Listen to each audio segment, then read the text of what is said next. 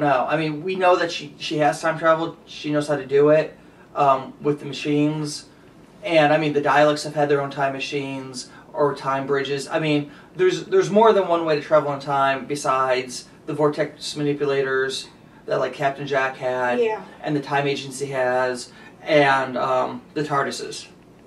Now, now, do we think that River is the girl, the regenerating girl, or is that still up in the air? I, I think I still think it's a red herring. Okay, yeah. Even with them doing the flashbacks to the to the girl. I still didn't feel like it was River because I think it's absolutely her. really, Yeah. I feel like it's not. I think they're trying to introduce a new element that's going to stick around for a while, even past Moffat's run. Yeah, no, see, I, I really hope it isn't because I still want the Return of the Time Lords. It seems like it'd be too predictable. It, it's too obvious. Yeah. Or at least to me. I mean, there's a chance that, I mean, Clayton has hit it right on the, right, you know, The know, nail right on the head. exactly, and it may not be a big red herring. I, I think the fact that I want it to be a red herring, you know, is what's ju- judging or clouding my judgment on, on the issue. Um, I just find it would to be see. too predictable, too, too, like you said, obvious. Yeah. Which I gotta say now, I really don't know who's in the spacesuit. I think it's likely that uh, we're going to get the Time Lords back at some point. Whenever it is that Moffat gets off the show, they're going to bring in someone else who's going to be a fan of like the whole Baker Mhm. era. Who's going to say, we really need to bring back all of these old Time Lords. But as things sit right now, I don't think we're going to see it again. Well, I, I would say when we. This is me jumping ahead.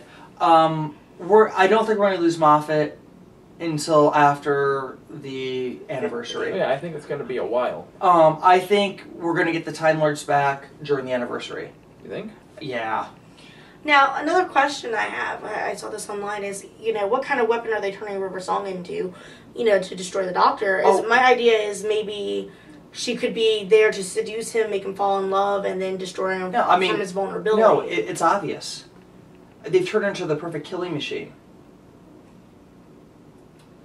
I mean, look at what she did to the silence. Mm-hmm. True. I mean, she obliterated the silence. Look at what she did to the Dalek. I And never saw it. uh, that that was the season finale of last season. He, she's the the Dalek um, was face to face with River, and the Dalek says, "You're a companion of the Doctor. You're not going to hurt me." She says, "My name's River Song. Look it up." And then the Dalek freaks out. Okay. I mean, I think they turned her into the perfect killing machine. Because no matter what situations she's got into, when it involves weapons and violence, she always comes through it unscathed. okay. Yeah. I mean, I, and I think that's that's that's where it, it lies. And half the reason why I think the next episode is called, you know, Let's kill Hitler. Let's Kill Hitler Should be Let's kill Rory. I Yeah. mean, But I mean, if you want to turn somebody into a perfect killing machine or want to know just what war's like, down and dirty, throw them the World War II. Yeah. You know, have them experience that. Mm-hmm. now, what I is mean, it? that's just speculation. What is it? Do we still not know why the Doctor and River are, are going opposite ways? Yeah, it's just. I mean, why do we meet anybody? In what order we meet them in? true. Okay. I mean, they're time travelers, so not only do you have one person's linear timeline going one way, you have the other one's going the other, and it's just the way the story is. I mean, Okay. I think it's it adds to the greatness of the love story that's there. Yeah. Do, are they? Do you get married? Well, actually, I could actually buy it now, possibly because he thinks that humans are icky, but she's a she is Time Lord DNA, so she's not strictly human. Yeah. yeah. So I mean, he would not be as repulsed by her now as he would for a full fledged human. Yeah, because during their conversation that was pretty, you know, just staring into the eyes and, you know, him saying something and her going, yeah, you know, it made me kind of wonder. I picked up some of the parts, you know, you know, Yeah. the kissy kissy, you know. And really, what's what's a better justification for a love story than not being as repulsed by someone as you ever were before? yeah. Well, I mean, because I mean, in the past, I mean, the only other person he really showed that he had any real love or any sort of relationship, or even hinted at there was a off-screen re- re- relationship with, was Ramona. Romana, sorry, um, in Classic Who with Baker. Okay. Um, there were hints. I mean, so I, it seems that they, you know, there could be something strange about the race where they could only mate with their own species. Okay. Or something less strange in that they just don't want to mate with anything else. Or they don't want to cause anybody else to, you know, have the genetic disposition with whatever Time Lord DNA does to something. Okay. Um, and yes, her being able to be a Time Lord by how she was conceived is quite possible because they turned themselves into what they were because of that. They did say it took time. I don't think it took as much time as the doctor is saying. Um, it, it, I think it happened a lot quicker. And maybe the exposure that Amy's had Yeah, and well, Rory could have enhanced the. well, I mean, yeah, I mean that that's what they're getting at. That it, she got infected with the time head. Why? I mean, she was conceived on the TARDIS. Why they were traveling through time? Yeah. Which I mean, and Affected by the time head. That's one way of Yeah. putting it. and uh, and also you know she she was exposed to the crack. yeah. God, this is sounding dirty right now, but I mean, there's a lot there that nobody else has ever been exposed to on the TARDIS. God, that sounds horrible. Um, but yeah, I mean, I I think this goes all the way back to Classic Who, back to the Three Doctors sort of era, where you know we find out more about the Time Lords, how they got their technology and I mean, stuff. Seriously. Who hasn't been in the TARDIS? We, we haven't. But I mean, you gotta look at it like this: who, how many people have actually had sex on the TARDIS? Yes, that's the dirty joke I was making. Oh, actually, the sad thing is, is unless I go back and check stuff, there's only been two couples I would guess that have had sex in the TARDIS: Name them. the Doctor and Romana, Okay, and Amy and Rory. okay. I mean, I really don't think it's happened with any other companions, or at least, or companions with companions. It's never been hinted at, and of course, it never would have been hinted at in the in the earlier episodes. I could see anything from Baker Baker on, but it never really was ever uh, uh, broached in any form or fashion.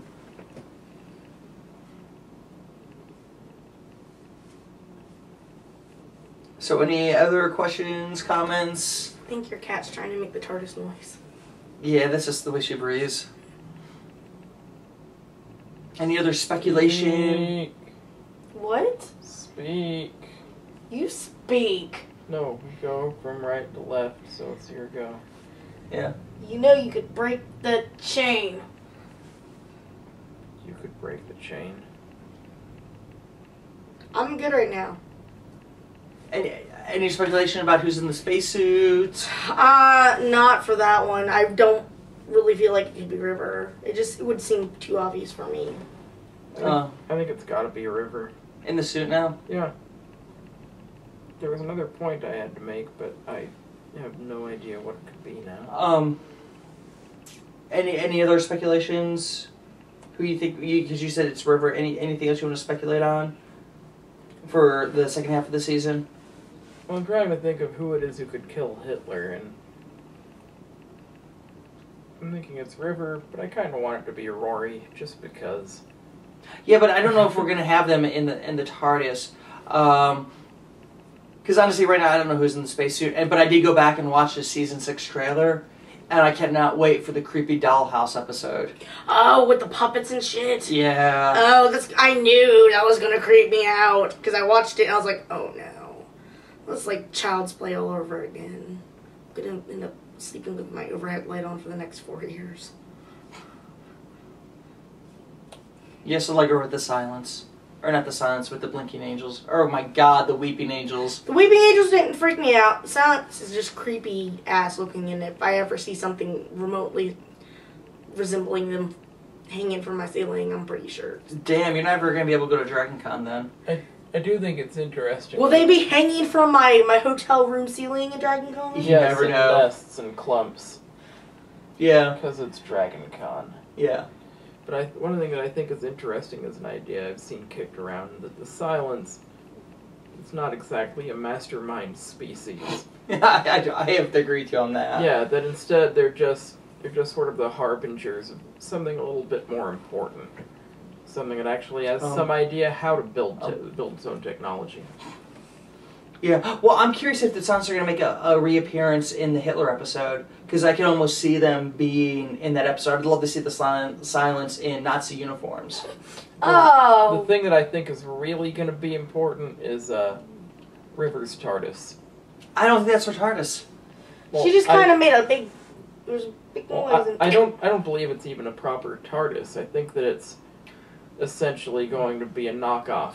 See, I think. I mean, yeah, it, it very well could be a knockoff. The, the Silence sort of try to p- piecemeal together, but I really think that just with the coloring and the design and the feel for it, it really feels like either the Master's TARDIS or the Rani's TARDIS. I mean, if you go back and look at, at the Classic Who episodes, I mean, that's that's just how I feel, and I think it would be great if we, you know, finally did ever we finally did find out what happened to the Master's TARDIS because that actually has been a big question. Because at one point I actually thought with Torchwood, and this isn't spoiling anything, I really thought that Torchwood um, headquarters that they were using for Jack's team was actually a TARDIS. Because okay. every once in a while it made a weird noise that sounded like a TARDIS, and since they and it seemed like infinite on the inside, um, I was hoping that was going to be the TARDIS. But when they blew the thing up, I mean, it just it, it didn't feel that it could be. So I mean, I would like to know what happened to the Master's TARDIS or what happened to the Rani's TARDIS, because honestly, I, I would never see the Rani going back and fighting in the Time War. Because she, she would have nothing at stake. There would be no reason for it. The Master I kind of could see because he's just that type of individual. And plus, they probably promised him new regenerations if he came and fight for us. So, I mean, I could see him having a stake in all of it. I just don't see her. If I have any suggestion to make for any of the uh, Doctor Who fans who are watching this, all twelve of them, what I would really suggest. No, we're up to to them- about 30 now. Oh, neat. Yeah. But what I'd really suggest to them would be to uh, just every time a new female character comes on, point at the screen shout to your friends, "She is Romana." I can tell. Because on a long enough timeline, you're going to be right, and Yeah. when that day comes, everyone will go, "Oh wow, you are so clever." Or you can also shout out that it's Donna, uh, the Hello, Doctor's Donna. mother, or the Rani. That also works really well, too. Or Sarah, No, Susan. Susan. Susan. Wait, who's Sarah? Uh, Sarah Jane Smith. No, the other one. There isn't another one. There's another one. You know what I found? tired. Yeah, I understand. Someone told me Torchwood in the first season, Jack makes a very awkward face. That's just predominantly awkward. Is this true? He makes an awkward face. Like a really super awkward face. I would have to see it again. Um, that entire season's awkward to me. Um, Okay. but that's a, that's a discussion for another time. Um, anything else you want to say about this episode before we wrap this I'm thing going up? through going to be going through so much withdrawal. Well, I mean, the exciting thing about next week is we're going to need a little bit more time to do it because it's going to be a two-hour episode. But you guys are going to get exposed to uh, the Five Doctors. Sweet. So not only will you get a taste of technically four of the Doctors, because Baker was Baker. Um, those of you who know Classic Who know what I'm referring about. Um, but you get a bunch of the companions, tastes of them. You get tastes of the first of five of the Doctors. Oh. And even though Hartnell wasn't in that episode because he was dead, the guy So they got the to play that- him okay. uh, does a does a damn good job playing the grumpy, crotchety uh, doctor Okay. um, that he was sort of like during uh, the first season of Doctor Who. You just say grumpity? Grumpy, yeah. Okay, cool. Yep. So until next time, uh, this is Galaxy Gallifrey uh, Pirate Radio. signing out. Música